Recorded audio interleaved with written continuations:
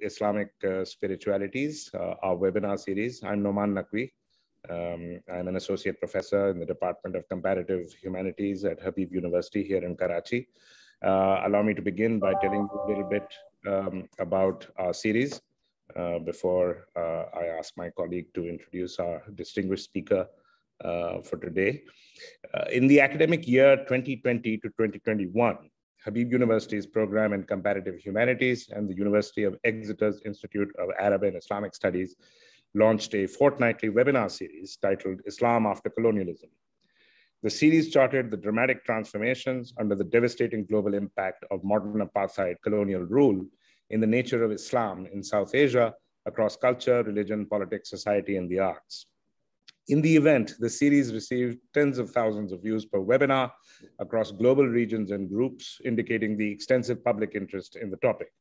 The decolonial question of alternative pasts and futures was an important part of Islam after colonialism, given that contemporary concepts and imaginations of history, religion, politics, culture, and ethics remain hostage to the modern colonial heritage.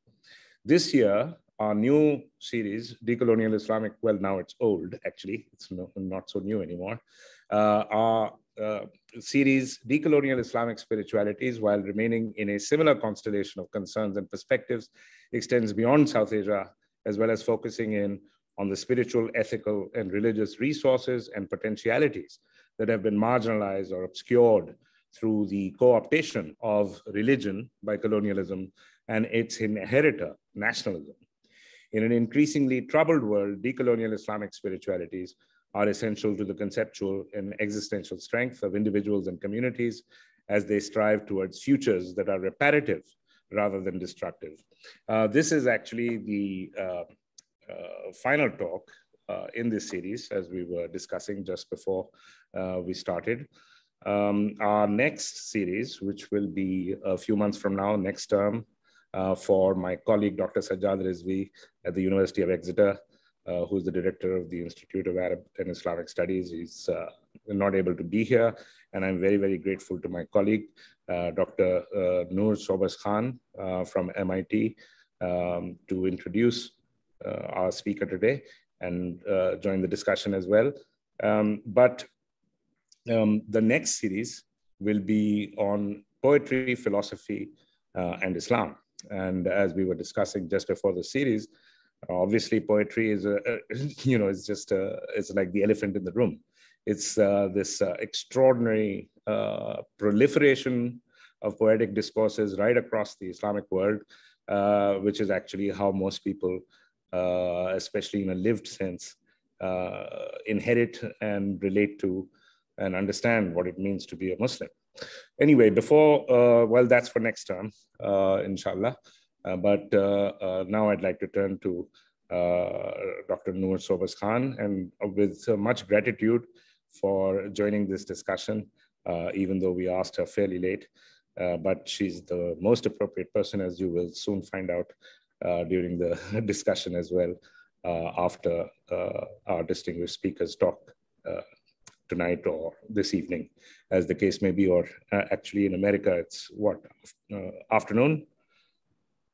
Yes.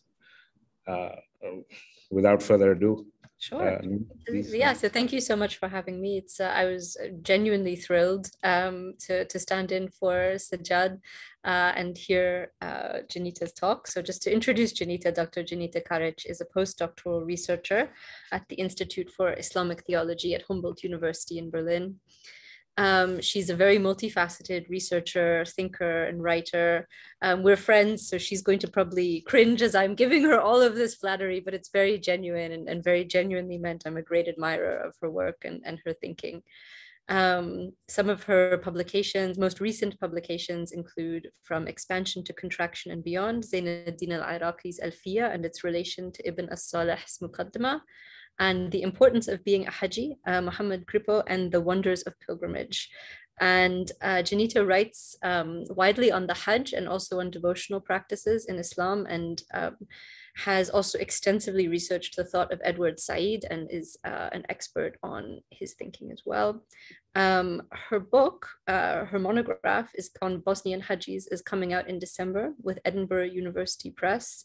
And I would encourage you all to read it and have a look at it. And it also features some very beautiful cover art, I know. Um, so I look very much look forward to, uh, to reading it as well. So Dženita, without further ado, please, uh, very much look forward to hearing your talk. Uh, thank you so much, Dr. Uh, for this really, really generous introduction, um, too generous. Uh, thank you so much, Professor Naqvi, for uh, inviting me, and also uh, thanks to Professor Sajjad Rizvi, who um, is not, uh, sadly not with us today, for um, inviting me um, uh, to, to be a part of, of the series. Um, I'm very excited to be a part of it, and um, I'm also excited to be the last speaker in the series, which means that I literally have the last word in it. So uh, basically, I've been thinking about the, decolonial framework which this um, series uses. Um, and I've been thinking about the terms we uh, usually associate with the decolonial, some terms and concepts and, and, and ideas.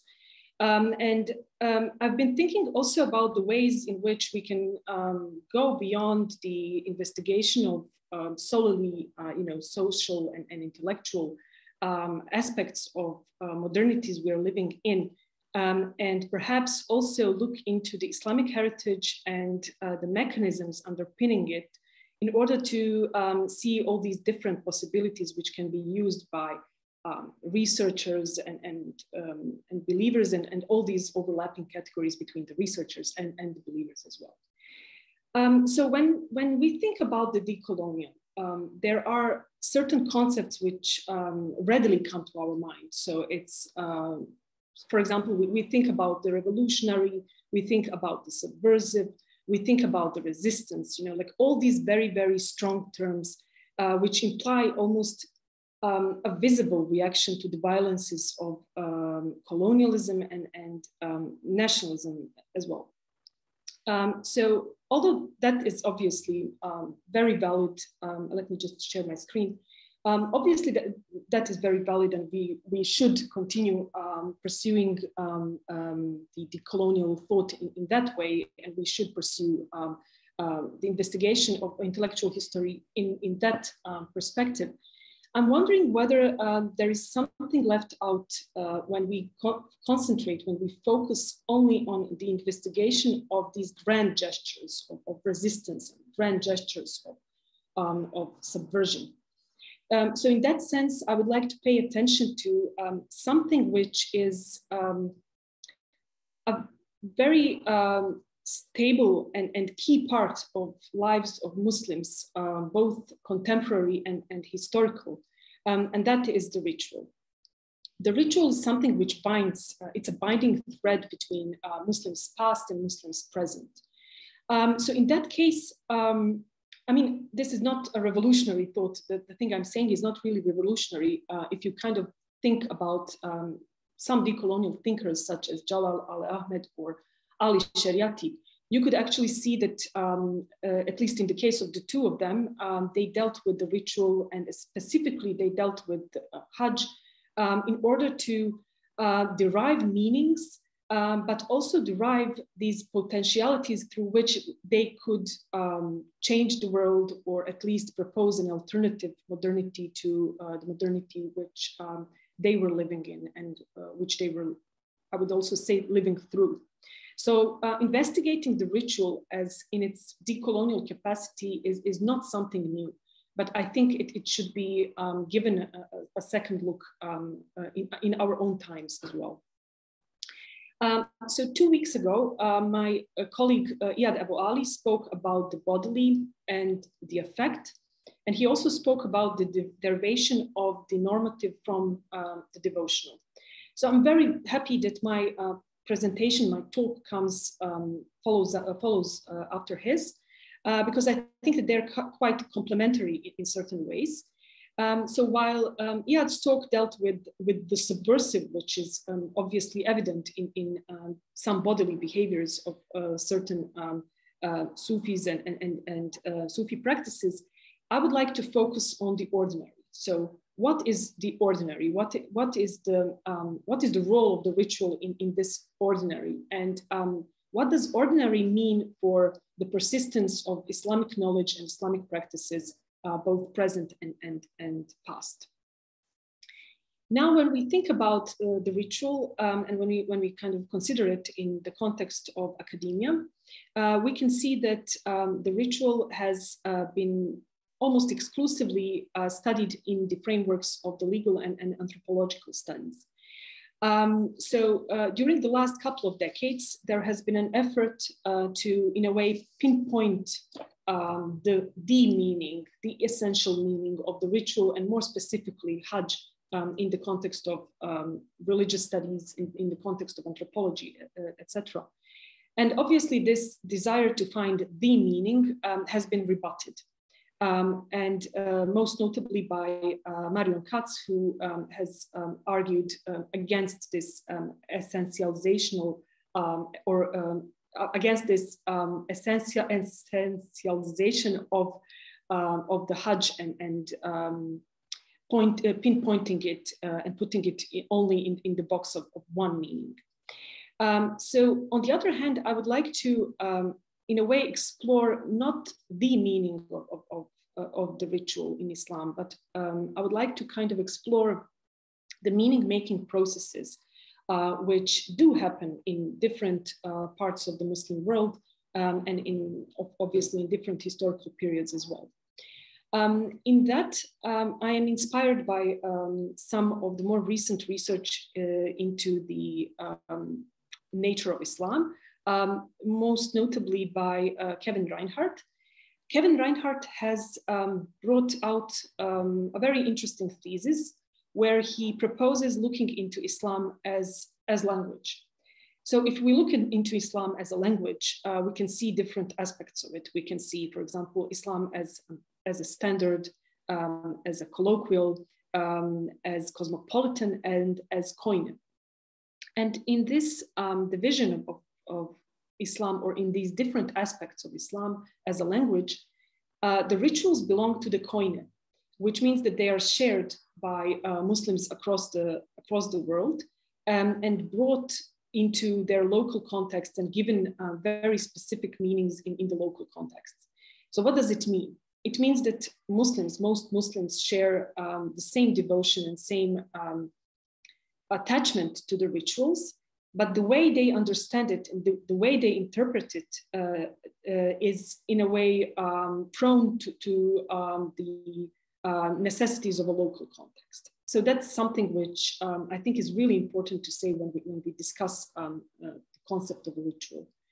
Um, and the second thing, which um, I also think is really important, is uh, the question of the knowledge transmission. So obviously there are rituals and uh, they exist and there are meanings given to them in different contexts, but how are they transmitted? So how are they transmitted from um, region to region? How are they transmitted from a generation to generation?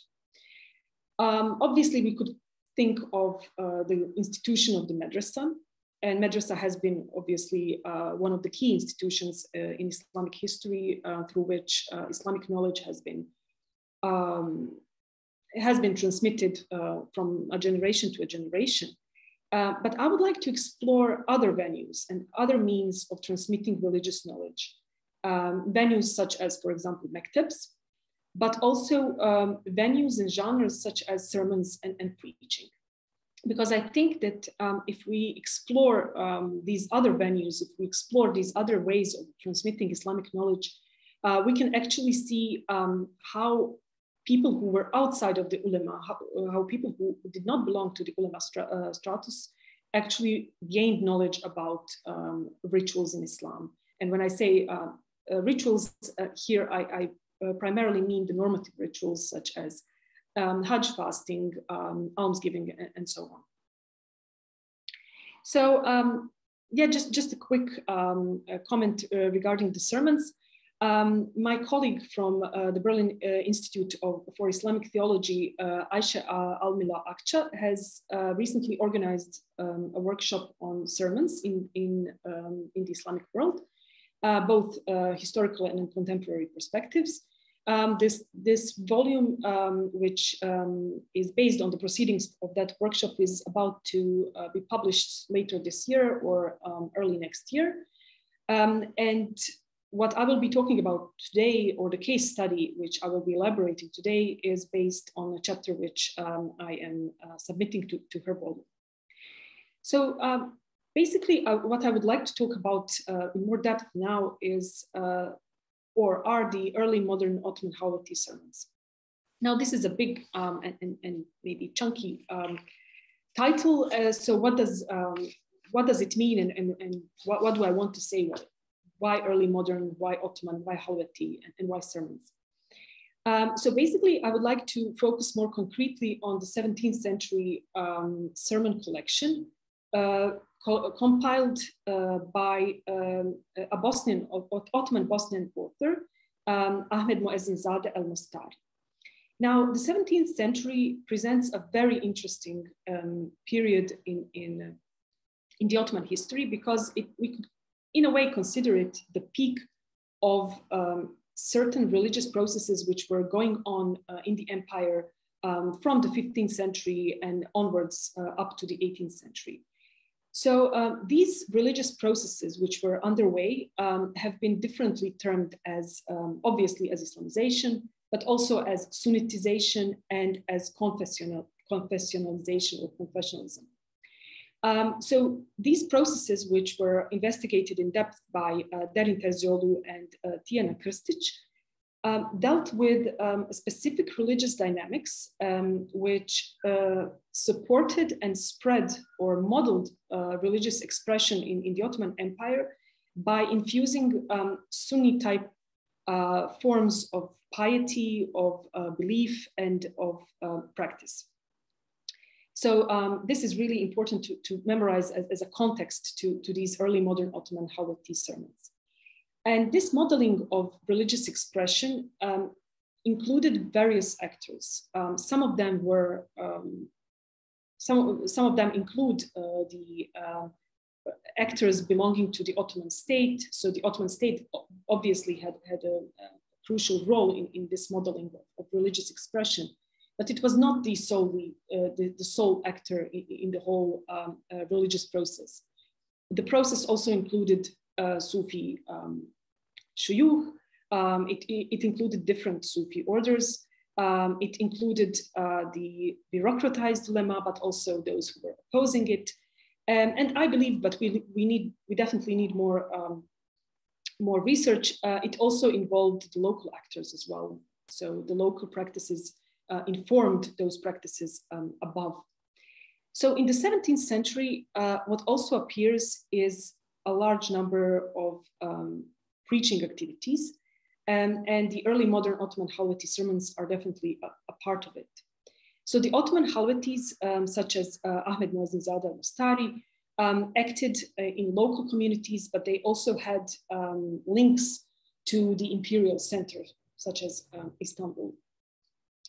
Um, when we think about the Halvetis um, and, and, their writings, uh, we also have to think about what they, we also have to think about the content of, of what they wrote. so the Ottoman Halvetis wrote both devotional and the normative uh, literature, um, and when they were writing uh, th this type of literature, they usually tried to combine the legal uh, aspects with um, ethical and exhortatory. Um, what does it mean? It means that, for example, when um, describing a certain ritual, they would, um, in a way, frame it uh, in the Quranic and, and the Hadith um, argumentation, but at the same time, they would also point to um, the modes of behavior which um, someone was, which uh, a believer or a practitioner was supposed to emulate. And these modes of behavior were uh, heavily modeled upon uh, the early Islamic renunciant piety. So we, what we see here is the development of the um, ascetic practices uh, from the 8th or 9th century embedded into the 17th century context. So, so that was pretty much um, a large part of, of, of, these writings as well. Um, also, when, when thinking about the Ottoman Halveti sermons in the Balkans, uh, we have to kind of observe it in relation uh, with what was going on in other parts of the Ottoman Empire.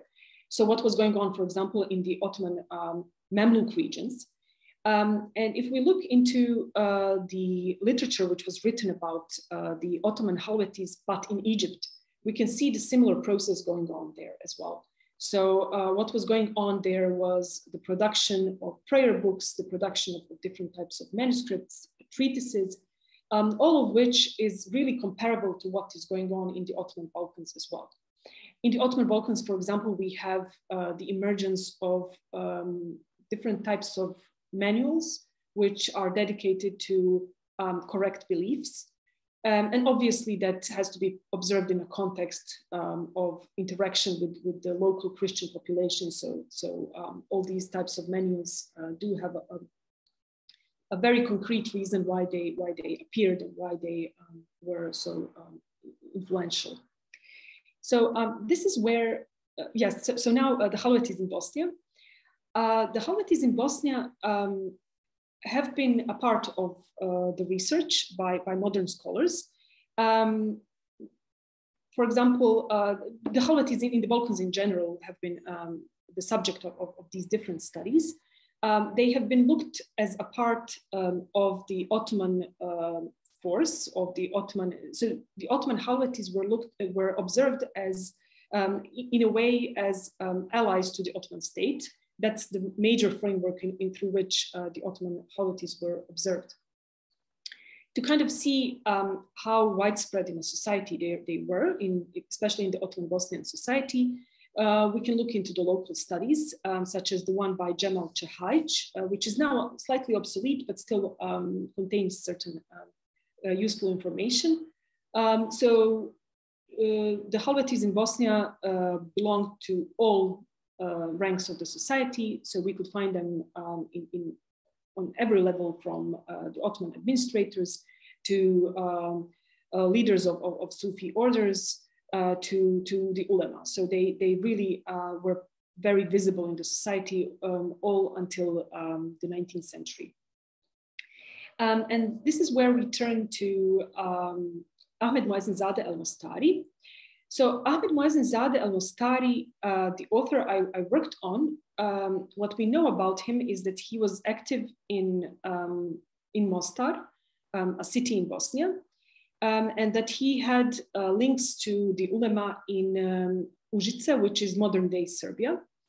Um, Ahmed Muazzin Zadeh uh, was con well connected with, with other uh, preachers in, in, in, the region, uh, other Halveti preachers. Um, and uh, just if, if I may um, uh, give a small detour, um, basically uh, Mostar in, in this period um, contained uh, even the institutions for the uh, study of uh.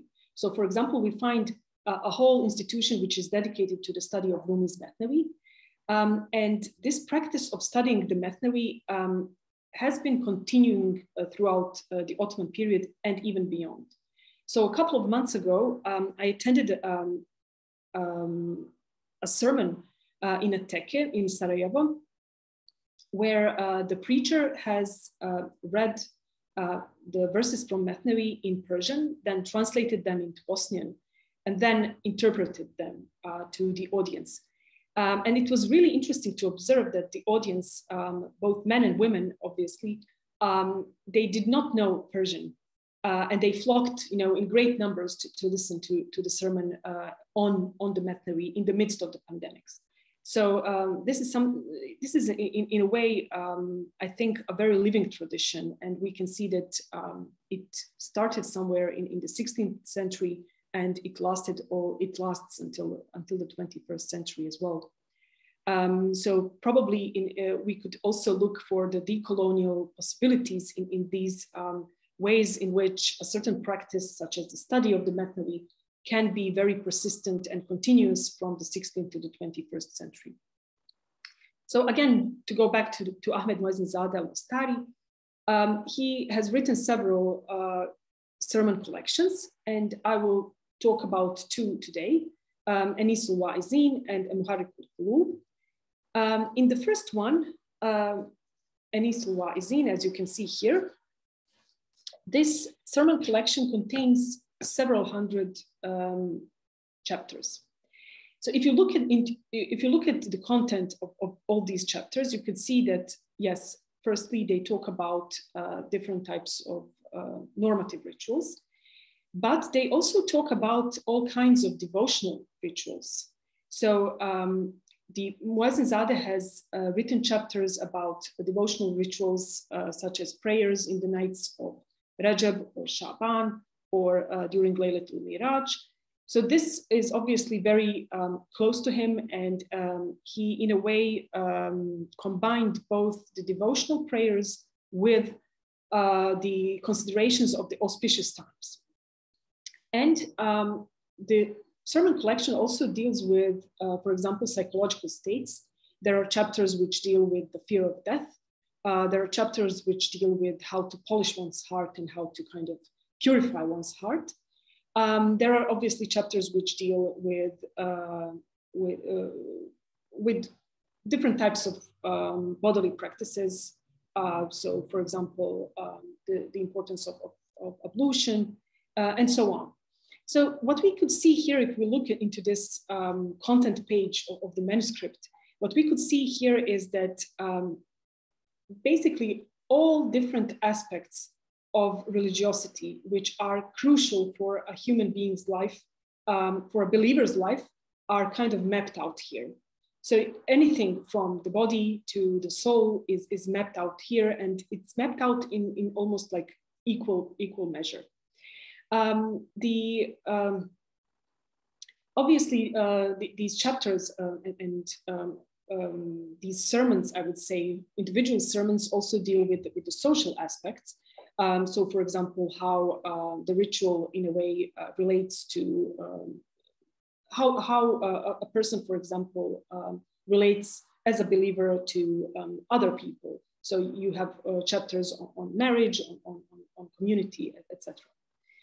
Um, so when we look into uh, the, very concretely, if we look into the devotional uh, rituals, which are mentioned here, and I mean here specifically those uh, rituals which are connected to times such as, for example, uh, months of, of Rajab or months of Shaban. What is uh, noticeable is um, this zeal to kind of argument it and argument it really well. Um, I know that, I, that in my title I've mentioned going beyond the uh, obedience, but um, I think um, we shouldn't drop the concept of obedience so, so quickly. So uh, basically in, in here, in, in, uh, in his elaboration of the rituals, he mentions the concept of ta'a um, quite a lot. And uh, especially the ta'a in, in, in uh, ta'a or, or the obedience in relation to the Prophet. So he says that the person has to be obedient to, to God, and then what derives from it is the obedience to the prophet, and then later on, you know, um, obedience to, to, to the people of, of knowledge. Um, basically, this obedience to the prophet is um, extremely emphasized in um, elaborating the devotional uh, the, the devotional rituals. So not those rituals such as Hajj or prayer or uh, almsgiving, but the rituals uh, which are done or performed uh, during the months such as Rajab or, um, or Shaban. So now when, when we think of it, um, there had to be a certain very concrete reason why uh, the author is insisting so much on the concept of obedience uh, in relation to these types of rituals.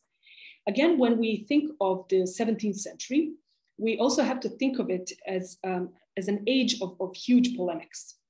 So this was the age in which um, questions uh, which might not be so relevant for us today uh, seem to define um, who is a believer and who is outside of, of the fold of uh, belief.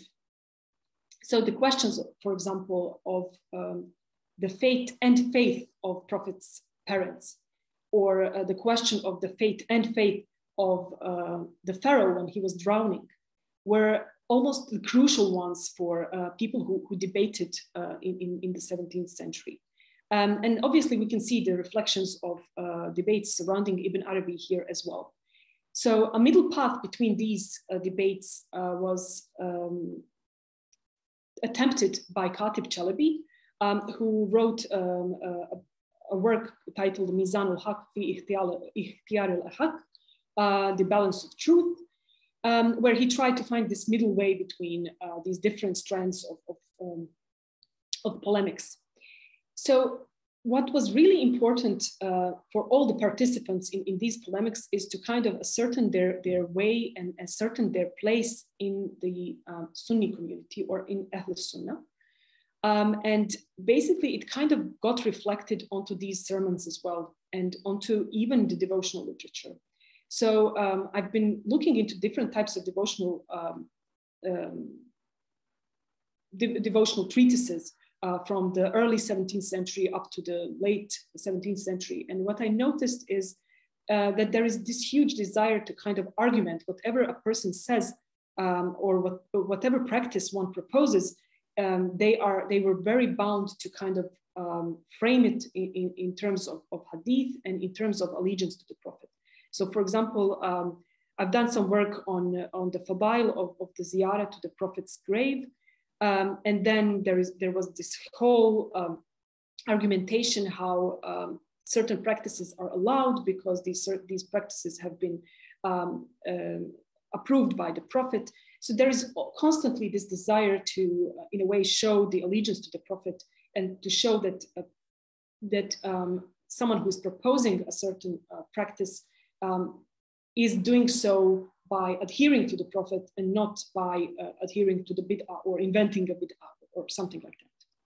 So that is, that is definitely something which um, uh, we can notice in, in the elaboration of these devotional, uh, devotional uh, rituals, such as, for example, prayers in, in Shaban or prayers in, in Rajab and so on. And now we come to uh, the question of, okay, so this is uh, this happened with the devotional rituals, but what happened with the normative rituals, or what we today perceive to be normative rituals, such as uh, prayer and, and Hajj? Um, so basically, we have to kind of look in, into the Sufi context of the, or, or the Sufi dimension of, of these Halveti sermons to, to see that. Um, so in Anisul Wa'izin, uh, in, in, this huge sermon collection, um, there is obviously a section on how to become a Halveti, uh, how to become a Halveti person or a Halveti um, seeker.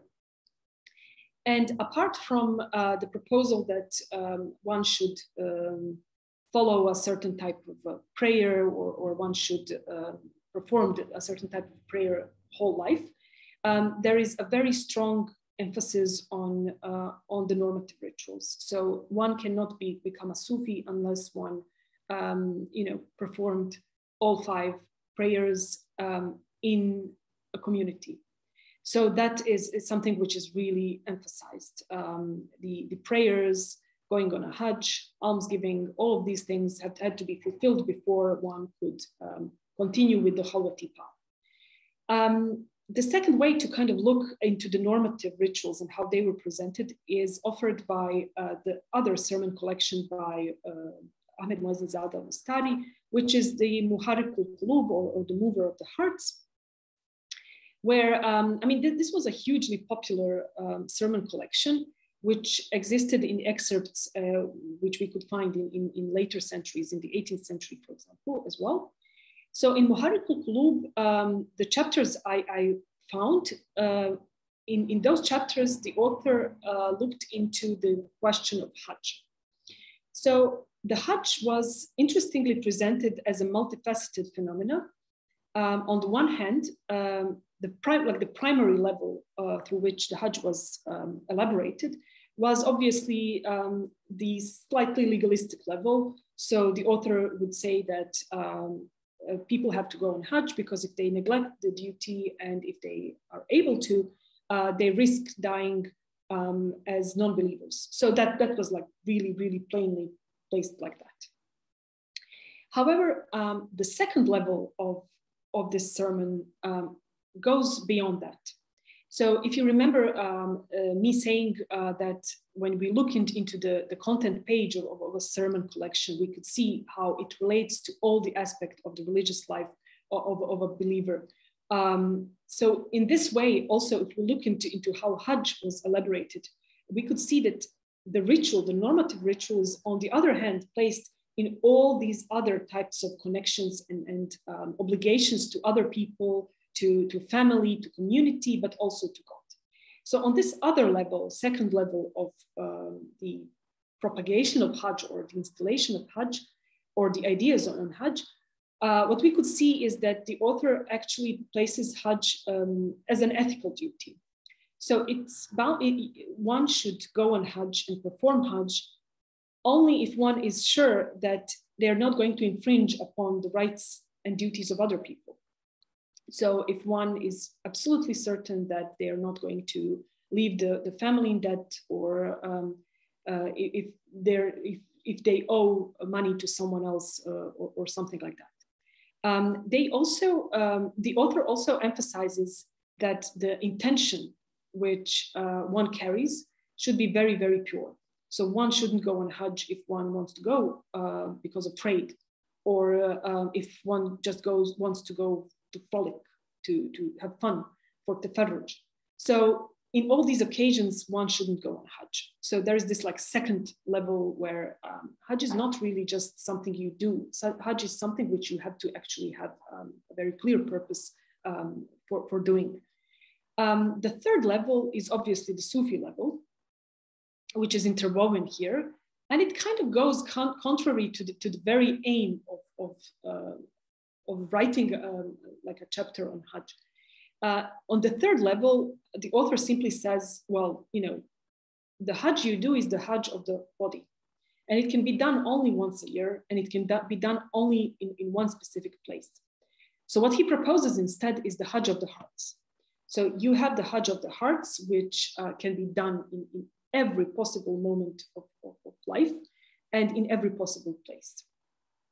Now, this sounds like a bit of a, a, contradiction. You know, on the one hand, you have someone who's proposing uh, to, to and, and, you know encouraging people to go on Hajj, and on the other hand, uh, there are uh, there is this strong um, sense of that well, yes, there is the Hajj of the bodies, but the Hajj of the hearts uh, is obviously more important, and the Hajj of the hearts can be done anywhere. You know, it can be done in Bosnia um, as well as, as anywhere else. Um, so, I mean, obviously, one of the ways we can look at it is to simply say, well, this is a Sufi interpretation, and that's it. But I would say that um, the author of, of this uh, sermon, uh, the author of this collection, sermon collection, actually knew his audience very well and it's a fact that a majority of uh, Muslims could not go on a Hajj in, in the pre-modern times. Um, and basically, if they couldn't go, if they couldn't go financially or, or for any other reason, uh, they probably wanted to have a, a, sense of a certain substitution ritual or, or, substitution practice, which they could actually fulfill, even though they're unable to go on a Hajj. So in, in this way, I see that um, these Sufi sermons, such as Muazzin Zadeh al-Mustari's, also fulfilled a very keen psychological and didactic uh, role um, in, um, you know, still nurturing the connection to Mecca and Medina, but uh, making people people kind of content with uh, with the lives they, they already lead um, and uh, to kind of um, do not make them miserable for not going on Hajj physically in, in a way. So basically, um, to in a way conclude, um, I would say that uh, these Ottoman Halveti sermons dealt with um, both the devotional and the normative, and sometimes also the overlapping uh, devotional and normative aspects of the rituals. As we could see, the, uh, they, um, in a way, exerted different energies in describing these different rituals. So the rituals they felt uh, lacked more certain uh, ground, uh, they dedicated more argument, argumentation to to those rituals which they didn't have to, uh, you know, justify. Sorry, for example, Hajj. Um, they kind of were more free to, to give additional um, explanations and, and, and, additional elaborations. What we could also see is that there are different actors involved in the transmission of religious knowledge in, these in these pre-modern times. Um, and uh, you know, people gained religious knowledge through different means, not necessarily only through madrasa they also gained um, uh, knowledge through uh, listening to, to these sermons. Uh, and by the way, the sermon was written in, in Arabic, uh, but it contained uh, interpolations in, in, in, Ottoman Turkish, uh, which leads me to, to think that it was probably meant for the circulation among the, the literate people um, in, of Ottoman Bosnia, not necessarily the ulama, but the literate people. Um, and finally, through these um, types of sermons and through this type of literature, what we could see is that there are definitely different mechanisms of the cultivation of the body and the cultivation of the soul. Um, and maybe most importantly, there are different mechanisms of uh, preserving Islamic knowledge and kind of um, making it continuous um, to uh, centuries um, after, um, uh, after these sermons were, were created.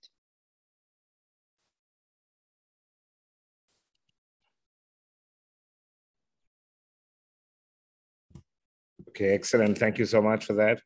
Uh, Nur? Uh, sure. Yeah. yeah, yeah. Shall I jump in with some questions? Yeah, thank you so much, Dženita. That was a really beautiful talk and uh, really wonderful and original topics that you're addressing. Um, you're always very humble about your research, but I think you're actually breaking very new and original ground with this investigation and I'm, I, I was super excited to hear it. Um, just starting off with kind of a basic, well, it's a basic question that's also a little bit complicated. Um, uh, and I'm asking also just so that, uh, you know, the wider audience who are listening can get uh, a grounding in these concepts, but how would you define you talk a little bit about this, but how would you define the normative mm. versus the devotional in the context of, of you know, um, these sets of sermons that you're looking at, but also more widely in your work? It would be great to, to yeah, for you to contextualize it in your, your wider thinking. Mm. Well, you know, like these are very flexible categories, both the normative and devotional. They are very, very flexible. And um, although it may, it may have come, um, come out wrongly, but I do not really put them in, in, a, in a um, in a contrast. Uh, so very simply normative, the normative is something which um, I would say the, the, the, community agrees upon. So certain things can become normative with age. So, uh, so, certain practices, certain rituals can become normative because you know the community decides upon. Uh, when we talk about the normative rituals in Islam, I, I would say that uh, those are the rituals which are agreed upon commonly by a majority of Muslims, such as, you know, people do not deny the, the, the validity and, and, the necessity of Hajj, for example. Um, uh, the necessity of, of, of, prayer or the necessity of, of almsgiving. Now, obviously, there are different realizations of these rituals in, in different contexts, and um, that is something else. But like the very notion of the normative ritual um, is in this context relates to, to something which the majority of Muslims have agreed upon as, you know, this is something which, those are basic Islamic duties. Um, and, you know, they kind of become, uh, they are the norm for, for majority of Muslims past and present. However, that doesn't mean that um, other types of practices cannot become normative or cannot become the norm. And I think what we can see here in, in these sermon collections is the way of the author to kind of push, you know, the practices done on, on these, you know, on, on in Rajab, in Shaban, he's trying to push them to become a norm. And he's trying to, you know, argument it very well to, to kind of show, well, you know, there, there is a very firm normative ground for making these rituals common and there is you know, we, we do have the sources and they tell us this, this, this, so we have to kind of make them, make them the norm. Um, so I would say that the term normative is quite um, flexible, but uh, the way I see it is it's something which the, you know, there is the consensus and, and there is the community and, and that's something which the community has agreed upon. When it comes to the devotional, that's i think even a trickier question uh, because um, you know that all these terms are very hard it's, really hard to translate them in, into for example arabic um, so it's fine to, it's hard to find the equivalent for them is it ta'abbud is it ubudiyya what, what is it you know devotion um, so the way I, I kind of try to to uh, look at it is uh, by not juxtaposing it or by not by you know making a contrast to the normative rituals of, of, of Hajj and, and, and uh, prayer and, and these uh, nor firmly normative rituals in Islam, but by um, you know looking into into some other uh, manifestations which revolve around. So, for example, do they do they do these do these rituals evoke emotions? Do they evoke certain additional practices? Do they evoke material you know, objects. So if, if, you know, a ritual kind of does all of this, then, you know, it's, it's a devotional ritual. And it can be obviously Hajj as well. It can be, it can be a prayer, you know, we pray and we, we use the, uh, the tasbih, for example. So it's it's definitely you know an additional devotional um, element or devotional object. Um, so um, in a way, um, you know, the terms are not really the perfect ones, but I think um, they shouldn't be observed in, in contrast and uh, they should be kind of elaborated in, in, in individual contexts. Great. Yeah. And that was also just a question more for the, the audience who are listening out in the ether who might want to know a bit more about the these categories and, and kind of the way that we use them in um, in looking at, you know, manuscripts and and, uh, and and histories of sermons.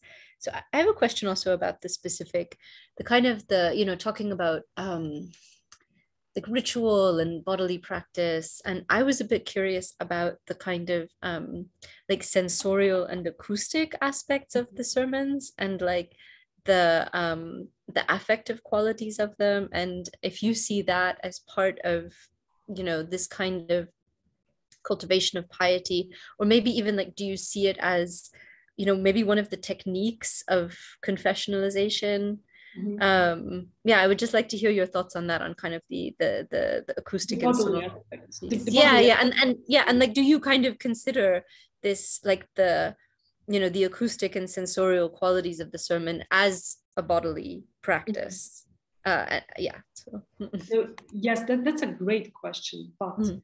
um, we definitely have a problem with with, with sources. At least mm. I have. I have a problem with sources. So. Um, you, for example, get a whole sermon collection, which is so neatly done, which is really, um, you know, very, very elaborate in, in um, you know, in the structure and everything.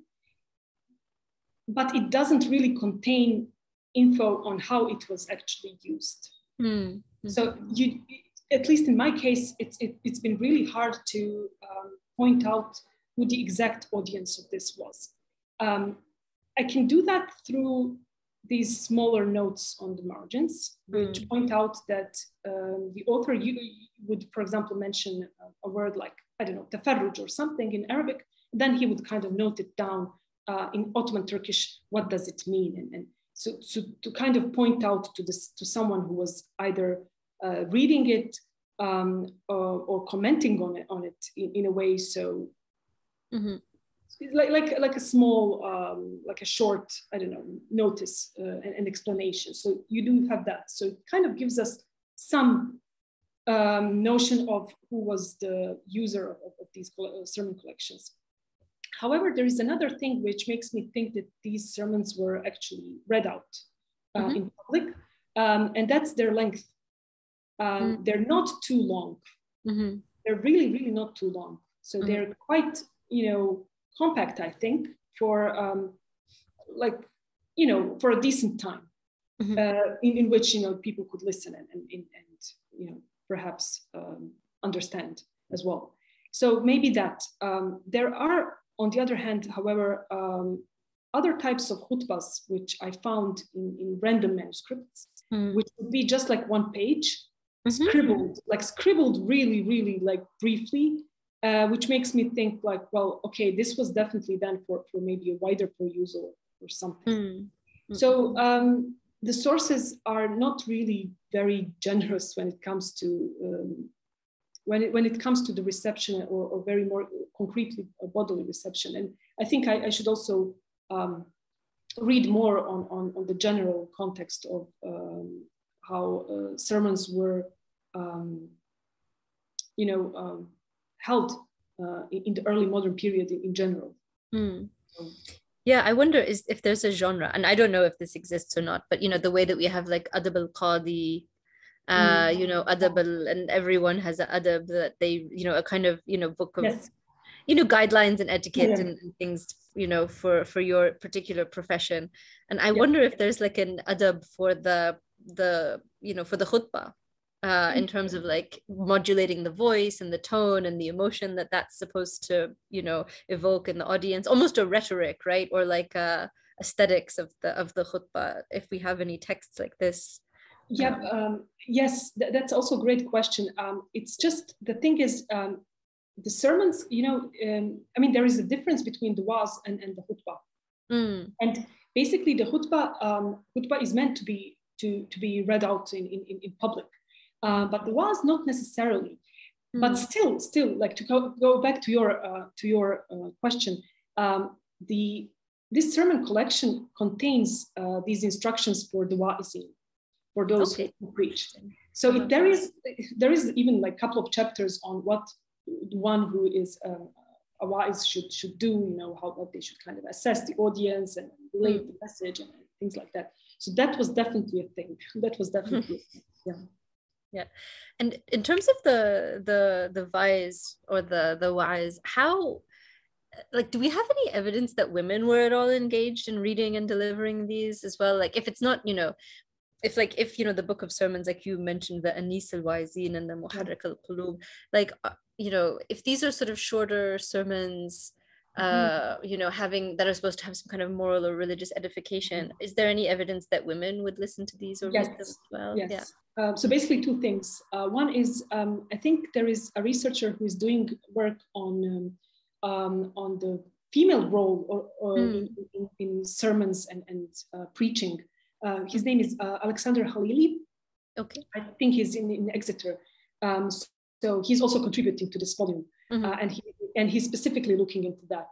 Uh, but the second thing to, to go back to the um, to Ottoman Bosnian context, yes. So basically, there are um, there is evidence which um, has recently been studied by um, Professor Kerima Filan from uh, Sarajevo University, uh, who has looked into um, so these, let's say, alternative ways of education in, in mm. Ottoman Bosnia, and found out uh, through different types of uh, and, and, and all these kinds of documents, um, she found out that there were actually institutions or wakf which would be um, allocated only for female education.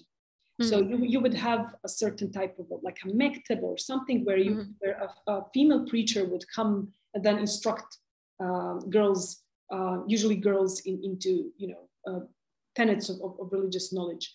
And what I found really interesting is that um, huge amounts of money were actually allocated to the education of, of uh, female children in, in that mm-hmm. regard. So um, there were, you know, there were ways of um, educating, um, I would say, all parts of the population in a way, mm-hmm. um, which are which we might not see so obviously, if we just look into, into madrasa as, the main venue of education, as the main yeah. space of education, and I mean, I, I, kind of started thinking about this question of, of um, women participation in, mm. um, in, in, sermons and preaching, um, simply by, by, kind, by kind of looking into, into examples of, for example, my grand, grandmother, who was, uh, you know, by all standards illiterate. Uh, but still, you know, like her religious practice was impeccable. Like she knew, you know, a lot. Uh, like her religious knowledge was really, really wide. So you, you kind of tend to think like, how were these women obtaining this knowledge? Mm. Um, and then, you know, preaching um, activities, even under really, really hard circumstances, like, for example, socialist Yugoslavia's mm. repression mm. of religious activities, still, you know, like there were certain types of um, um, venues where this religious education through preaching was was um, kind of tolerated. Mm-hmm. So um, I mean, when when we think about these things historically, I sometimes think that we also have to think about them in, in, in a very contemporary perspective. I mean, it's not all unbroken. So yeah. sometimes things you see here today among you know our grandmas, um, they you know they, there is a root in, in, in somewhere mm-hmm. there is a continuity somewhere and i think again to go back to the decolonial i yeah. think it's, it's our task to kind of undig these yeah. um, modes and mechanisms of continuity so you know how do muslims you know stay muslim in practice mm. Um, throughout you know all these challenges in, in, in these mm-hmm. different um, different time periods and Absolutely. Yeah. And I think this connection with ritual and bodily practice is a great example of that, right? It might not be a textual, mm-hmm. you know, uh, what, you know, what as scholars we would like to consider a kind of continuity, which is, oh, this manuscript, right? But yeah. it's, you know, the, the ritual even of prayer, or I mean, uh, you know, these are, are very, as you say, very strong and continuous practices. And actually that you know you concluded uh, your question in such a way that it leads very nicely to the next question i wanted to ask you which is this idea of the the decolonial possibilities of the ordinary which mm-hmm. i thought was a very very poetic way of uh, of framing your topic and your and your talk and, and really very beautiful because you're right we focus so much on you know these grand and actually sometimes violent gestures of revolution mm-hmm. or resistance and um, and you know and and fail to recognize things as simple as you know these spaces that are created for you know conveying of knowledge orally or the teaching of prayers mm-hmm. or even things as simple as you know ways of sitting or standing or eating or showing respect or you know all of which have a lot to do with bodily comportment um, you know in, in, in each culture or community um, so yeah I, I just you know i'm curious as to how we can make the link between this this decolonial of the ordinary with the the early modern sermons kind mm-hmm. of to the present day like how do we like mm. where where where are the the resonances and links between the the kind of sermon culture of early modern um you know ottoman bosnia and and maybe you know cultures of mm-hmm. knowledge transmission in bosnia today which you kind of touched on with your grandmother um, but i'd love to hear more of your thoughts yeah basically i mean first um to kind of just uh, uh, um, say a bit more about why uh, I find the ordinary even more challenging and more exciting than these grand gestures of, of you know mm-hmm. suppression and, and, mm-hmm. and, resistance and um, you know these grand gestures sometimes simply um, respond to the colonial challenges and, and they they're still um, responding to something which uh, is dictated by you know colonial by the mm-hmm. national you know it's still mm-hmm. dictated like the terms of the debate are still dictated by um, quote unquote the oppressive side or the oppressing side while the mechanisms of the ordinary actually you know they they i think that they do more um, more substantial work uh, in terms of you know they're they're sometimes not even conscious and they mm-hmm. perpetuate um, certain ways of living, certain ways of certain practices, certain beliefs uh, in a way which is actually very natural to, to the communities in which in which they arise and, and uh, which are, I mean, they do not imply um, um, now I'm trying to kind of escape the quietism, uh, and, and right, I know right, right. that I know that there is definitely a danger in, in, observing the rituals only from you know individualistic perspective and mm-hmm. not seeing the social impact mm-hmm. and the mm-hmm. social potential. But I think like this, these ordinary practices are actually um, more. Um, um, what's the right word? Um, they can be more revolutionary in some ways. Mm I mean, when we kind of think of, of Hajj, for example, in the 19th mm-hmm. and 20th century, I mean, all the colonial powers were really, really upset about them, about mm. the Hajis going on Hajj, you know, like tons of Hajis, many of them, you know, very illiterate, going on a Hajj is something which really upset both the colonial and, and, and later on nationalist um, mm. structures and, and, nationalist powers. So I think that there is definitely this, this potential in, in the persistence of, of, a religious practice uh, which is um, strong, but maybe not, not that obvious. So how can we, what can we do uh, with Bosnian Ottoman sermons and, and um, well, um, forms of practice today? Well, I, I, don't think that there, there has been a huge rupture. I mean, obviously the nation state frameworks did their own damage. Um, the, I mean, modernity is something which we all have to go through, like it or not. um, but I think that there are certain ways of um, preser preserving um, knowledge and practice, not necessarily replicating it, mm -hmm. but seeing the behind the logic behind. Mm -hmm. So, what was the logic behind this um, Muazzin Zade's insistence that, well, you know, if you can't go on Hajj, it's okay. You can do the Hajj of the hearts. Mm. So I think that there is a lot of mercy, for example, in it. There is mm. a lot of understanding, you know, the mm. audience who, who one is talking to. And I think mm. these underlying mechanisms are actually more important than, uh, you know, the actual realization, you know, mm-hmm. what is going to be said. So the principles of, of I don't know, mercy, understanding, um, is something which we can definitely apply or, or, or try to apply in, in, in our modern age. Yeah, absolutely um, I'll hand over. I think Nauman looks like he has some questions brewing. I can I can tell. So I'll hand over to him, and then I, I probably will. I have some more things I want to ask, but uh, let me hand over to to Nauman. you know me too well. Yeah. uh, you probably know, uh, Dženita, that uh, Nur was uh, our colleague here at uh, Habib University for a while. Uh, so she obviously knows my ticks, right, as a result. But yeah, you know, it's a very exciting discussion Uh, Uh, so uh, I also want to uh, participate. Uh, so I have some thoughts uh, and some questions as well. first of all, you know, one of the, as in the description at the beginning of this session of the series, so the, you know, the, one of the terms that in my mind goes more and more with decolonial is reparative. Mm-hmm. And I mm-hmm. like, you know, the, um, because uh, so it's a question of healing. And i like that repairing healing. Uh, and i like that a lot because also uh, you know philosophy itself is supposed to be healing. Uh, one of the oldest functions of philosophy um, uh, is therapia in the greek which is uh, of course we today the word therapeutic but and for, it has some unfortunate uh, psychobabble type of connotations, uh, but that's not what it's supposed to mean. It's supposed to mean healing. So, um, so yes, and of course, um, that has to do with matters not just of.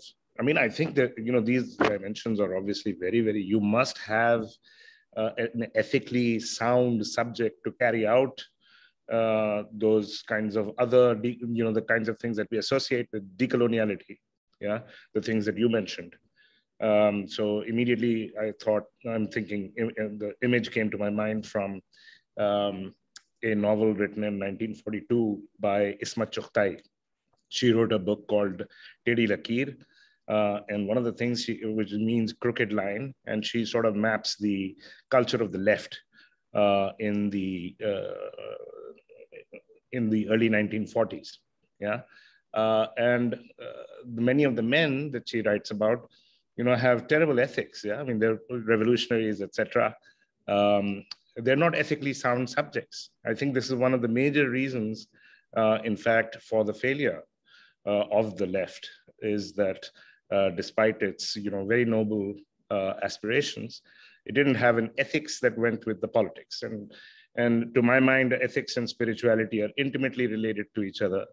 Um, so the restoration or the reparation uh, of the subject. Uh, I think, and I, you know, I, I know you, I know exactly what you were talking about when you said quietism. You know, the danger of quietism, but uh, you know, um, we must be quiet at times, surely, right? I mean, I think uh, you know, in order to heal ourselves, and and uh, you know, in order to be able to really uh, listen, you need to be quiet in order to listen. For one thing, yeah, to, to be able to uh, respond to the world uh, properly.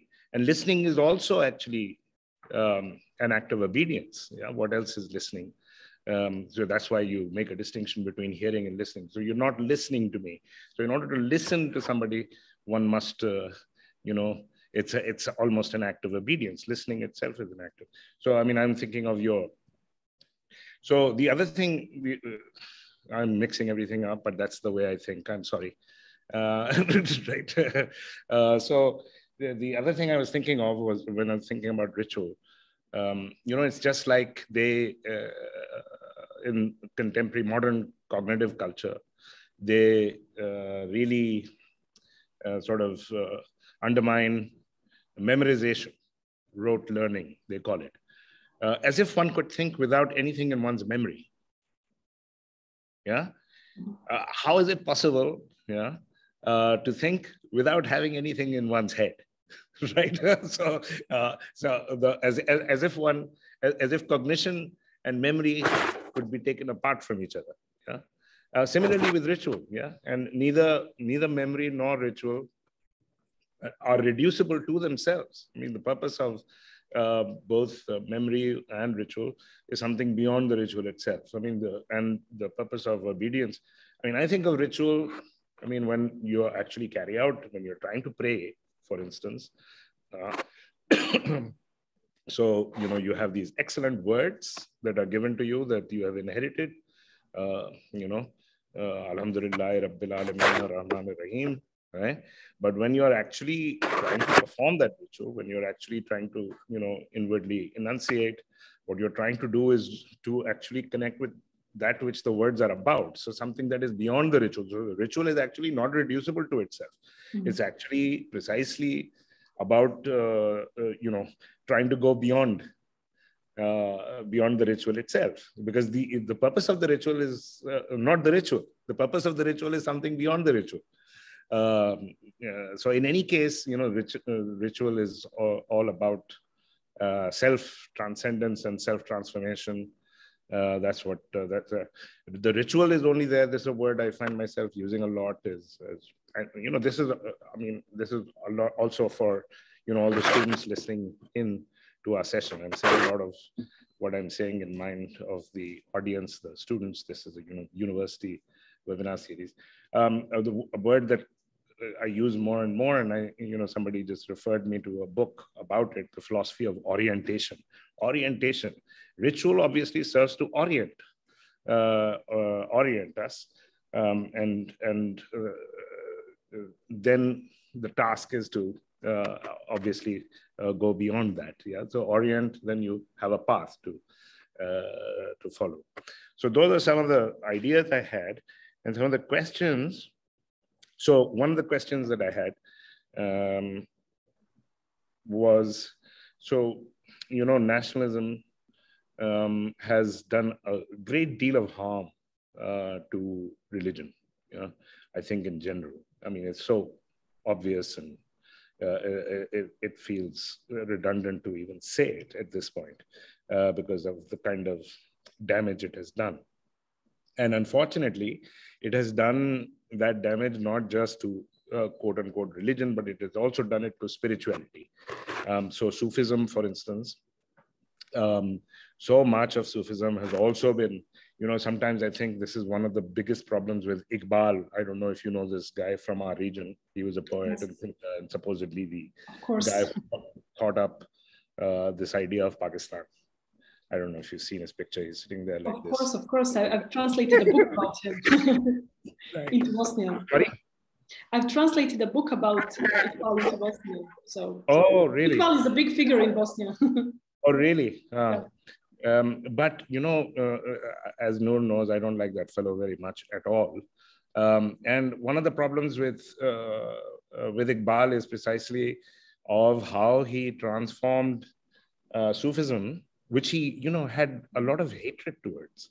Yeah, I mean, in in his uh, dissertation, his thesis, PhD thesis, metaphysics of Persia, a lot of it is a critique of Sufism but you know he simultaneously of course he couldn't do without it either so in forming this uh, new kind of national subject it, it uh, you know by colonizing sufism itself yeah he uh, it's colonized the interiority of muslims i think uh, you know it's had a really uh, a really terrible effect on on spirituality and on spiritual traditions yeah so which is why you can get you know there's a book there it's called the, the spiritual achievements of the Pakistan armed forces.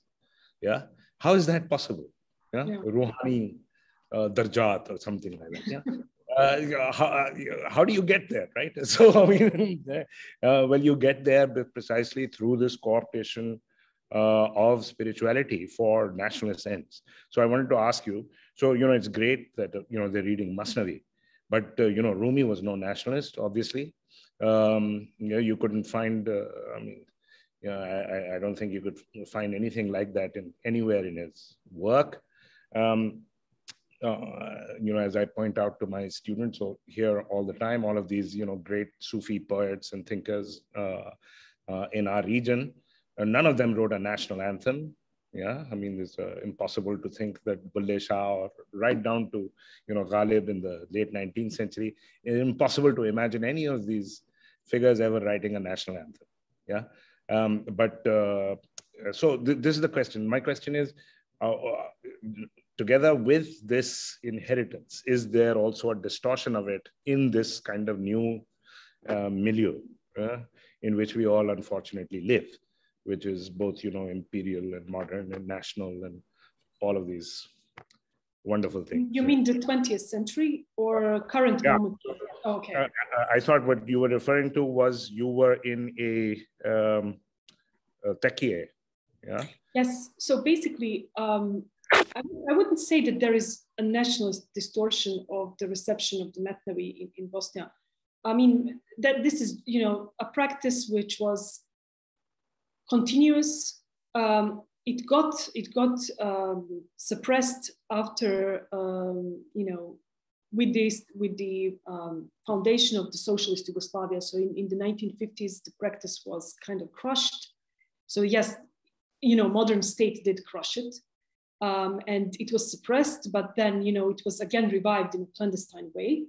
Um, so I would say, it, I wouldn't really say that the practice of the interpretation of Metnavi in, in co contemporary Bosnia has been, you know, appropriated by anyone apart from, you know, these Teke people who, who invite who invite the listeners and I mean, it, it's not a, a, custom which is, you know, hugely known in, in, throughout the whole Bosnia, and you know, it's just a local custom which I found really interesting, and for me was a sign of the continuation of the Persianate, you know, culture which Bosnia was definitely a part of. Um, so, I, I, regarding that particular um, custom, I, wouldn't really say it was appropriated. But you're definitely right regarding the, um, the whole position of Sufism in, in the 20th century and the 21st century as well.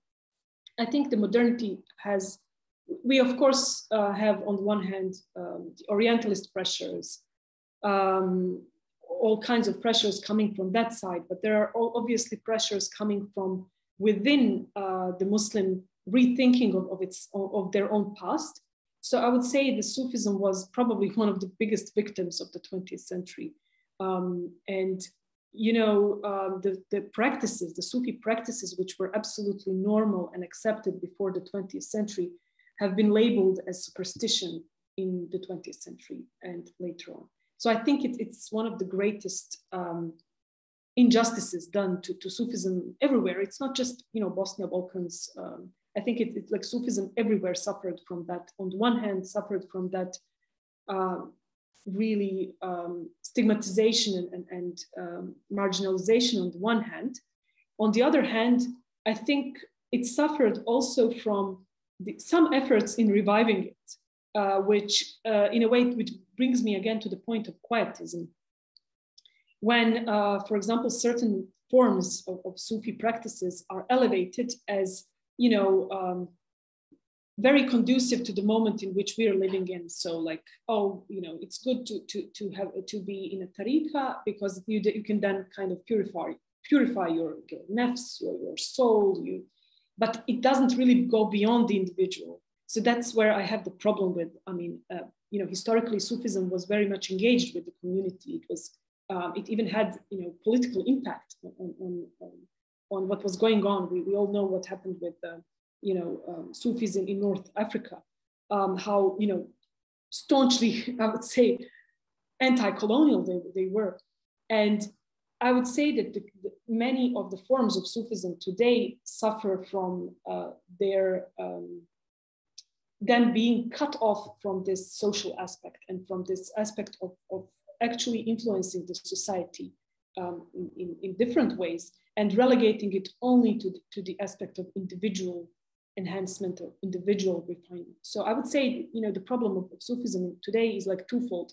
On the one hand, there is this stigma that Sufism is something redundant, something unnecessary. And I think it was like a modernist stigma. I, I somehow see it lessening in the last um, in the last couple of decades. But um, there is definitely this other danger of, of making it um, look more uh, or simply like a new age movement rather than really, really um, a huge religious force, which was um, probably predominant in the pre-modern uh, period. Right. Uh, well, you know, one, one of the reasons, I mean, you know, as I was saying earlier, so the, I mean, I, I don't know how it's possible to think of spirituality without ethics. And once you talk about ethics, uh, you know, this, so this is one of the bizarre things in our times. Just like uh, spirituality and religion have been torn apart, as if you, that you could be religious without being spiritual, yeah. Uh, or be spiritual without being religious. Mm-hmm. Uh, similarly, you've taken also uh, spirituality and ethics yeah. and religion. Yeah. So the three of them are supposed to be separate things. so how can you be spiritual without being ethical? And of course, there you know spiritualism and spirituality and this part of the critique of new age stuff is uh, has just become a massive business it's unbelievable how huge uh, you know i mean uh, unfortunately you know in india and it's a big part of the disaster that's unfolding uh, in India also, uh, is this complete, uh, you know, co-optation of uh, uh, of spirituality, mm-hmm. precisely, you know, into this kind of thing that you're talking about, this individual. Um, I just want to relatedly make the point. I think some of the most successful decolonial, um, what should one say, uh, actors, you know, agents.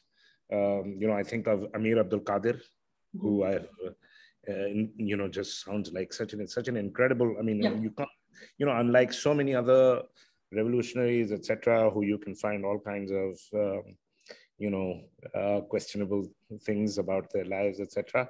Amir Abdul Qadir just seems to me to be just impeccable, um, you know, uh, historical agent, and obviously he was, you know, uh, you know, the, he was a great spiritual uh, master uh, as well. And I think that I think that his impeccable revolutionary and ethical stature has a lot to do with that. Yeah. And you know, I mean, of course, Gandhi doesn't measure up to him, but you know, the other person that you can think of is Gandhi. Unfortunately, messed up in all in, in all kinds of uh, silly ways, uh, even in his old age. But that was, you know, I think basically like a lack of his spiritual rectitude. Yeah. Um, but nevertheless, once again, one of the most successful de- uh, um, anti-colonial, decolonial uh, actors who, for whom uh, it's inextricable from the question of spirituality yeah, and and retreat, khalwati, yeah. Uh, so you know, so that khalwati dimension, I think, um, you know, it's very interesting. This I, I don't want to take up too much time, but it's very interesting a, because I was just uh, before this, a couple of hours before this, I was listening to the book launch uh, of this new book. Uh, it's called by Asim Sajjad Akhtar. Uh, I'm really excited that the book is here and it's very edifying uh, theoretically also rich. It's called The Struggle for Hegemony in Pakistan Fear, Desire, and Revolutionary Horizons, uh, published by Pluto Press. But towards the end, you, you know, so um, he's a you know Marxist and part of um, uh, the Awami Workers' Party, uh, etc. Um, and you know, I have a lot of respect for him. Uh, but like a lot of left culture, so towards the end uh, of the book, as well as his talk on the book today, uh, there was an open call for new forms of subjectivity. Yeah. Uh, but nothing specific at all. Yeah. General left culture is just not able. This is one of the reasons we're doing this uh, series, Decolonial Islamic Spiritualities, and your talk also fits into this. Yeah. Um, precisely. Yeah. Uh, it, it won't do at this point to just make these general calls. Yeah. Mm-hmm uh, for new forms of subjectivity. This is where you have to. Uh, this is where you have to go if you want to create the kinds of ethical subjects we're going to need.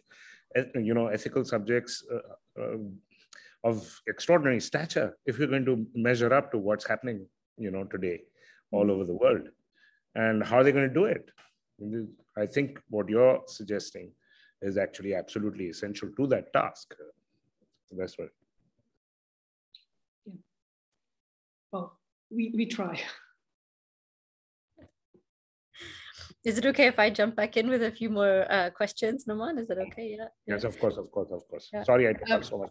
Oh no, not at all. It's it's, it's, it's a discussion. Yeah, yeah. Um, I actually wanted to follow up, and I hope it's not too off topic. But I was really interested to hear on your hear about your translation work of Iqbal, uh, and how I, I'm just very curious. You you know you mentioned that he's a big figure in Bosnia, and like I feel like there's something really interesting going on there, like about like the translation of uh, you know his philosophy into the Bosnian context. Like, please, like, can you share a bit more about that? I'd be very. Um, basically, I think I would say that there was even like a small translate translators movement in in um, in Bosnia after the war. So after 1995. Um, and a couple of books were translated about Iqbal and, and by Iqbal. Um, and I think at some point there was even a chair of Iqbal being established at the Faculty of Islamic Studies. Um, I'm not really sure whether it's functional at, the moment. Um, so, you know, people do, I mean, you know, when I when I talk to my friends who, for example, study um, South Asia, they're always quite uh, quite surprised when I tell them what what we actually read in Bosnia, you know, like in this period, like after 1995. So, for example, Muhammad Asad was um, like his, his work um, has been translated in, in, into Bosnian several times. Uh, Fazlur Rahman, um, like all these like really luminaries who, who, who, either had a huge, who either hailed from, from the region or, or contributed to it. Um, I would say that they definitely had a certain intellectual impact on, on what was going on in Bosnia. Now, I mean, if, if I guess like um, there is an idea for um, an intellectual history or, or like some cross-regional history to be done, um, definitely rising. Like I would, lo- I would love to see someone do, do um, um, like a research on these intellectual connections. Uh, and I think it kind of goes way beyond to, let's say, 1970s. Uh, when um, Alija Izetbegovic, who was the first Bosnian president, um, wrote his uh, declaration, Islamic declaration or something. So he was, he was later on imprisoned for that. Um, but in, in Islamic declaration, and there is another work, Islam between West and East, he does mention uh, Pakistan as a role model. So I would say it kind of goes intellectually to, to, to you know, these um, early beginnings, you know, looking into, into I mean, it, it, it can so sound naive to us today, obviously, but um, some of these things were, uh, the way I see them were um, based on looking for a certain type of model, for a certain type of alternative to what was going on. You know, Alija Izetbegovic was writing in, in, in Yugoslavia, which, you know, was really like religious expressions were not really uh, allowed publicly. You know, they, these people felt all kinds of pressures. So they looked upon different models. So one of the models was Pakistan and, you know, like Pakistan Islamic um, Republic and, and, and things like that. So all of these things, I think, affected the way uh, Pakistan was received in the psyche, um, but also like how production, which was related to Pakistan, whether uh, through you know Iqbal or whether through Muhammad Asad, you know, or, or whether through um, Fazl Rahman, was somehow you know embedded in, in all of this. But um, yeah, I think that there is definitely um, an intellectual history waiting to be written about it. That's fascinating. And it's, I love the paradox of this kind of trans regionalism in the service yeah. of nationalism. Is kind, kind of, of, yeah. yeah. And yeah. and also like yeah, and like also the way that it's almost drawing on. I really feel like as you were talking and you were describing these links between South Asia and Bosnia, it really brought to mind the the links that have always existed between South Asia and the Ottoman Empire that yeah. um yeah that in in west in the western academy really aren't studied that much um because they're considered two separate disciplines and geographic areas but like it just you know i mean you had used to have like you know um one recent bit of reading i've been i've been doing which reminded me a lot of this is that um you know going back to halvetis in the 19th century at the Ottoman court, and Dženita, you know this, I'm, I'm sure, but I'm just sharing it for the audience. Um, there were a number of Halveti figures who derived their spiritual authority from having uh, joined the tariqa through um, Indian uh, Halveti masters in Delhi. Yeah, so they would travel to India, get their, uh, you know, uh, in, induction into the tariqa there and join that particular silsila of Halveti, you know, uh, Halvetis there. And then that was how they established their spiritual authority um, you know in istanbul or in damascus or mm-hmm. wherever it was it was through this journey to south asia and i just feel like there's like some echoes of this happening almost you know uh, uh this sort of like mystical um you know almost south asia is the, the this mystical land of of some kind of islamic authenticity yeah. or something you know mm-hmm. that, that, that that there's some echo of this in in this construction of like iqbal you know being yes. adopted and you know post 1995 yugoslavia um so i guess there's an example sorry no, I just wanted to add that in Iran also, his uh, uh, uh, uh Iqbal's work mm-hmm. is uh, very influential in this period that is in the you know 20th century. Huh. Most of, uh, I mean, and um, yeah, I don't think he's had a good effect there either. you, you, know, um, just to kind of add, um, we, I mean, obviously we, we talk about nationalism as something which is, and obviously I think nation state is, is, is was a horrible context for for uh, many, um, you know, religious expressions and, and forms and, and for people like in general it, it was it, mm. it's a bad it's a bad framework but i would also say that you know um, it seems to me that muslims have been like latecomers to, to, to nationalism and mm. as latecomers you know you always have to kind of catch up with you know the rest of the world um, in order not to you know disappear so uh, the way people were enthusiastic about pakistan or even iran at, at some point was the fact that these countries um, you know they do have certain type of symbolic framework or, or um, i mean we can obviously talk about the violence of nation states, but in the psyche of people, it sounded like, oh well, there is this country and it's it's you know Islamic. So let's look it up, look up up to it. And obviously, it's it's horribly naive. It's it's horribly you know um, when when we look at it from today. But um, you kind of have to understand these people why they were looking for any kind of solution, you know, to, to the state they were living in and uh, to the state which they felt oppressed under uh, in some ways. Yeah, it's fascinating. And I, I also, um, another kind of related question I was going to ask about is with the Hajj um, mm-hmm. and how that figures into, I mean, it's part of your, your I mean, it's your, your wider research topic, but um, just the way that it, it kind of um, is, you know, almost the, the thing that kind of negates the very notion of nationalism in the yep. Muslim world, right? I mean, it really explodes the concept of nationalism mm-hmm. and makes it very difficult, actually, you know, uh, to have a coherent nationalism because it, it just really brings to the fore, you know, these other allegiances and, and ultimate allegiances mm-hmm. that one has to, you know, uh, a place, be it a, be it only mythical, right? Like the Hajj of the heart, you know. Um, but I, yeah, I just wonder if that might be you know the, the, these kinds of as you say i mean i feel like there's a connection with that uh, and this idea of the decolonial of the of the ordinary right like if the hajj might be one of these notions one of these ideas or resonances or you know mm. um, that that plays into this uh, mm-hmm.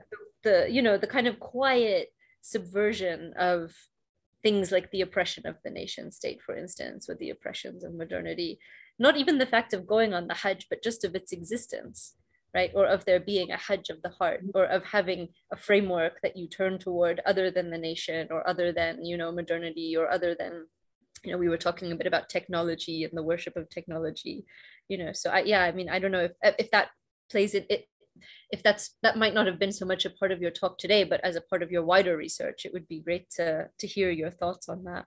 Well, I mean, you know, Hajj is definitely like a boundless topic.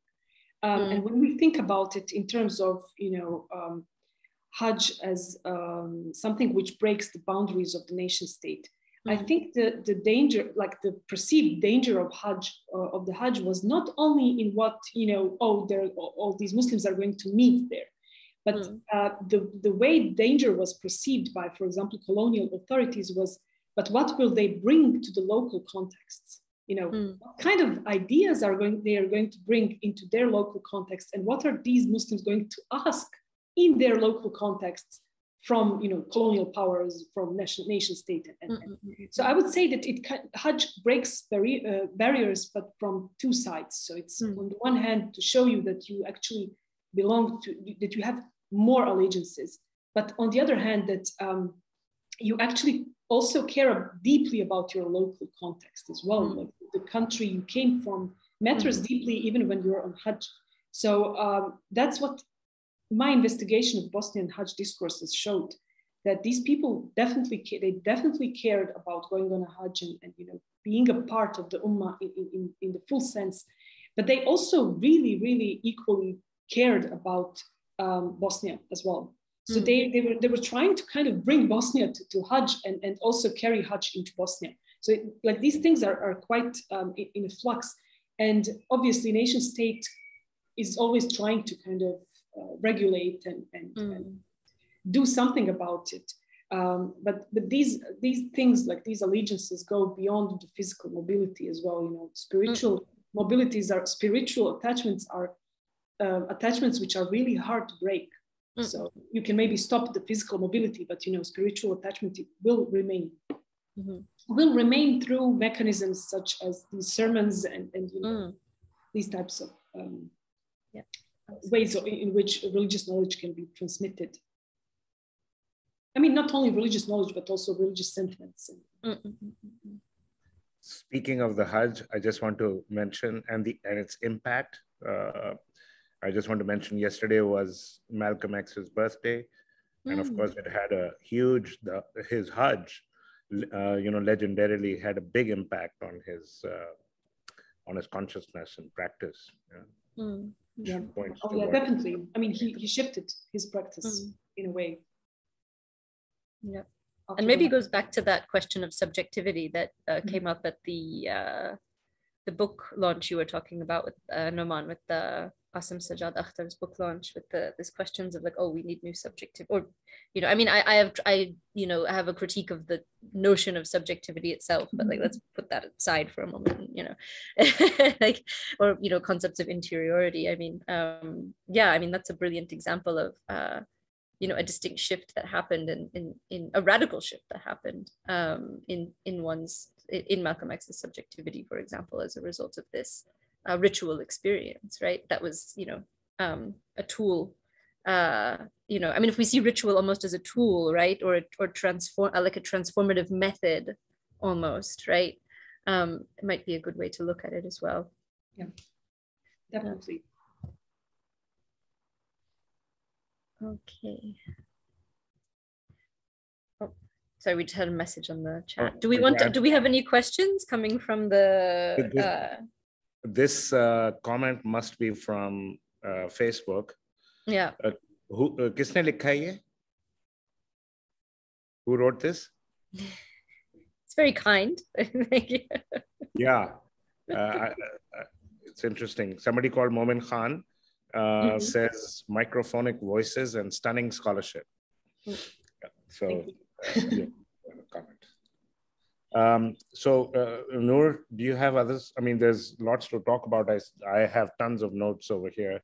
Uh, yeah, yeah. I mean, I could, I could, I wanted to ask a little bit more um, specifically about the Ottoman context as well, mm-hmm. uh, if that's okay.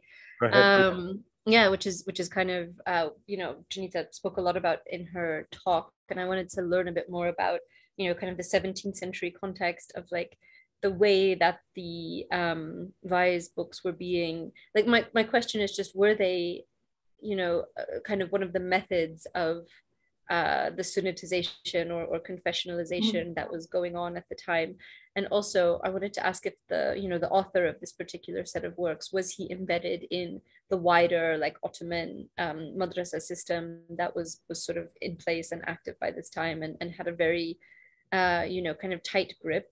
So the mm-hmm. scholarship seems to seems to portray it as having a very kind of uniform and tight grip over what was taught, and you know, the curriculums and the way that um, you know that religious practice was was perpetuated. So yeah, where do you where do you situate these works and also the Halvetis, of course, being a very kind of establishment exactly. order, right? Like very close to the state, and you know they become very very prominent in in the reigns of certain sultans. Mm-hmm. So uh, yeah just situating these works a bit more in in the, um, mm-hmm. context so basically i think one of the challenges which i want to deal with uh, in, in in a creative way uh, i mean to try to deal with it in a creative way is to how do you actually work with figures uh, on who you on whom you don't really have much mm-hmm. so um, and for example you know, I've done extensive research in, in, in Bosnian uh, manuscript libraries. And what I could see there is that, you know, you have these really extensive works, such as these like sermon collections, and you have re- really scant information about the author. This mm-hmm. is not the first time I, I encounter some, something like that. So one of the ways to kind of go um, around it is to uh, basically, and that's what I used to do um, at some point, to kind of note down whatever was read you know whatever the author mentions as as the source then i would note down and then i would try to kind of find uh, the um, i would kind of try try to find um, to understand the library this person had mm. and mm-hmm. you know if you if you if you see um, certain types of works uh, being repeated in, in um, certain contexts then you you kind of know oh you know this was read in, in this period and uh, it can give you uh, a certain type of an intellectual outlook this person had, as well as um, you can kind of place them also on, on some level of, of, scholarship as well. Um, obviously, you can also look into the uh, number of, of manuscript copies which were circulated. Mm-hmm. And this person, uh, Zadeh, um, he definitely ha- has um, copies of, of his um, sermon collections in, in different various places um, mm. across Bosnia. Um, so, but I then, uh, then you know, um, I still think about how, um, what is the proper way to kind of resolve this. And I think one of the ways is uh, what I think was proposed by Marion Katz, uh, if I'm not mistaken, is to kind of look into, into this um, religious production um, in, a, in a wider way, to not only see it as uh, the uh, opposition between the ulama and you know the, the popular masses which were uneducated or something, but to see all kinds of levels um, of literacy in between. Mm-hmm. So I would situate these authors um, of sermon collections from Bosnia, for example, the, ones I, I, worked on, um, I would situate them on the level of like this mid cult. So people mm-hmm. who were obviously educated enough, who, who, went through the madrasa system, and you, you can see that they know Arabic, they know Persian. Mm. Uh, so they went through this process but at the same time, they, they probably didn't want a prestigious place in, in, in some of the larger centers of the empire in Istanbul mm. or in Cairo. So they remained, you know, locally based, but very locally influential as well. Mm-hmm. So that's one of the ways to kind of understand what, like, what was the, uh, you know, social, what were the social circumstances of, of these people. And um, so, for example, I, you know, having too much information about author was something which unfortunately I've never encountered in, in my work. Like I always have to, had to kind of uh, work mm. creatively with the material or try to work creatively with the material. material. But um, the basic facts which we have is that these people were um, active in locally. They were also active regionally because they had connections to Sufis in, in other centers in, in, in the region. Um, and at certain points, obviously, uh, some of them obvi- uh, probably traveled to Istanbul as well and, and made some mm-hmm. certain impact there as well. Mm-hmm. Interesting. Nauman, do you want to jump in with a question? So, uh, no, actually, I mean, I do have questions, but um, you know, um, we've taken up lot, lots of Dženita's oh. time. Also, we've been going on for a long time. Uh, okay, so I, it's really, uh, it's been really cool. So I think we should. Um, should we draw to a close? Yes. okay. Um, what do you think? Sure. Yeah, yeah. I've I've asked. Uh, I mean, we can always. I mean, I you know can always it's ask Yeah, I, I'm. I mean, I could I could keep talking about this forever. I think it's a fascinating topic, and, and you know, I think she's doing well, really wonderful research. Interesting discussion. Thank you so much for really enlightening uh, talk and for you know fabulous engagement and discussion. Um, and to uh, the viewers and listeners uh, thank you uh, for uh, listening in uh, to this last talk uh, in our decolonial islamic spirituality series. Um, once again i'd like to repeat that we're going to have another series sajjad from uh, University of Exeter, Institute of Arab and Islamic Studies, and uh, I will have another series invite lots and lots. I mean, there's a lot of great work being done actually uh, on the intersection between poetry and philosophy in the Muslim tradition. Uh, so I hope you'll join us uh, next term for that series. Thank you so much, uh, Dženita, and thank, thank you so you much so for much. Uh, pleasure. Yeah, thank you so much, both. And it, it was um, like I really enjoyed the, the, the, conversation and, and it made me think about some things I haven't uh, before. Thank you. Thank you. Allah Hafiz. Thank you.